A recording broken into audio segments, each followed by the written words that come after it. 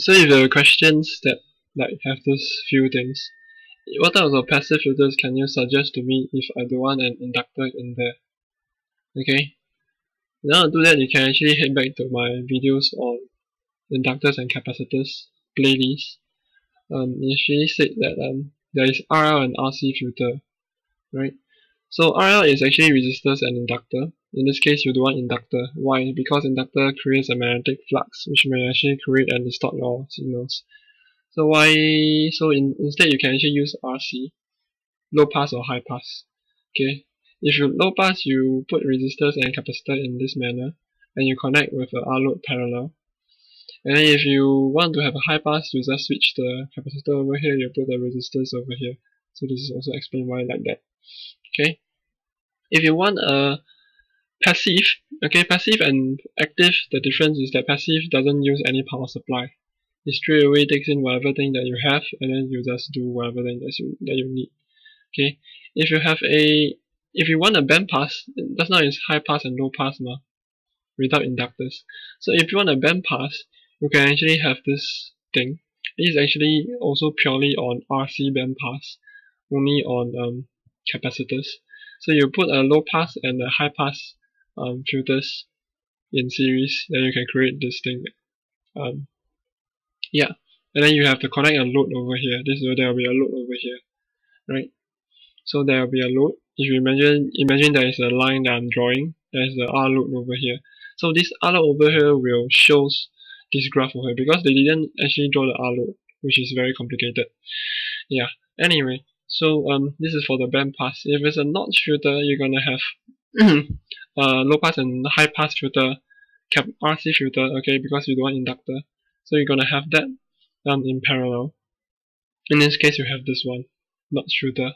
And as you can see, there is an R load over here now. Just now, do you see any R load? There is no R load. Yeah, R load is missing.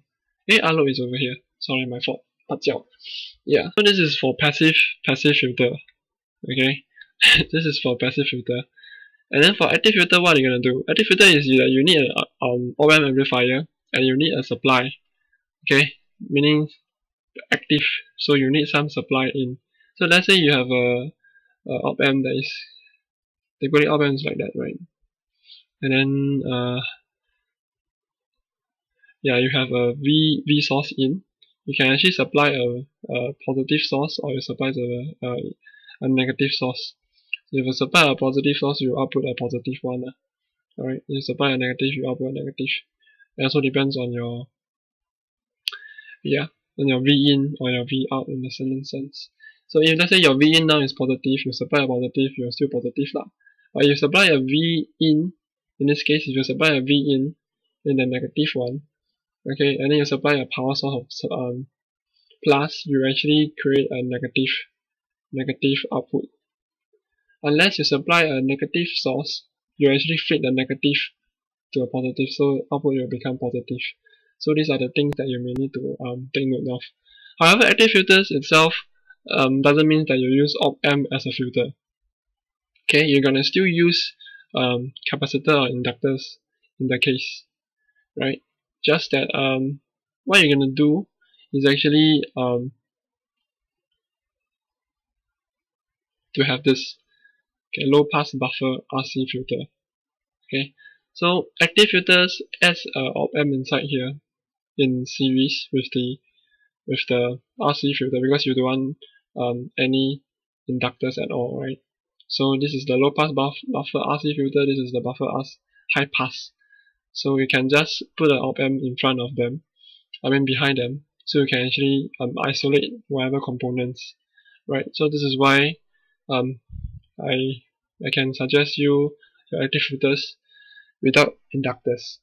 Okay. So if happen that your active filter suggested, um, and then you if you and then you want to ensure that my inputs are well isolated and my signals are amplified, how do you do? So you know that your active filters now is has a buffer, so to isolate the components or isolate the inputs. However, if you want to have a gain, what you can actually do is actually from this negative um, feedback, you can actually add in the resistors.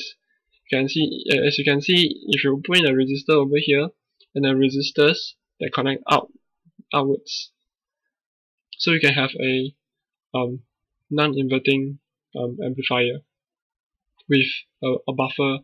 So it's a buffer and gain with a low pass. So it's like a like a three-in-one system, right? So this is the the thing I'm gonna talk about. So low pass and high pass is the same. Um, so low pass shares the same low pass um, buffer RC filter um, diagram, just that you you add an inductor in this manner, same as high pass. So so low pass and high pass the difference is that you how you arrange your inductor and your how you arrange your resistance and your capacitor in this way, right? So in low pass is this one and this one, high pass is this one and this one. Maybe hold on a while. Alright, so this is this should be the low pass, this should be the high pass. But just to double confirm, let me go to the uh what about inductor? Yeah, low pass inductor is over here. Eh, sorry, low pass is capa yeah. This is low pass RC, so RC resistors has to be connected over here. So yeah. So resistors, if you take a look, a low pass, the resistor is connected over here, and then capacitor is connected over here. This is low pass, right? And then, okay, next question. So I already talked about how to amplify and isolate the system using what type of um, op amps. So these are all op amps, alright? Just to let you know, these are all op amps. And then this is capacitor. Actually, this this is op amp plus capacitor lah. Okay. Plus any any other inductor, inductors or whatever shit. so if you have the above solution, what recommendation can you give to ensure I have the least component use? So this is still not good enough. Okay. Um, meaning, uh, this this this configuration is still not good because as you can see, it's very a lot of resistors what can you do? In order to have a least components, what you're gonna do is to have an inverting inverting um, buffer filters gain. You're gonna connect in um, the feedback to the inverting side. So you have an input also in the inverting. Previously, this is non-inverting. Okay, previously was non-inverting. V in is go to the non-inverting portal. So these are the things that you're gonna take note and then um, yeah.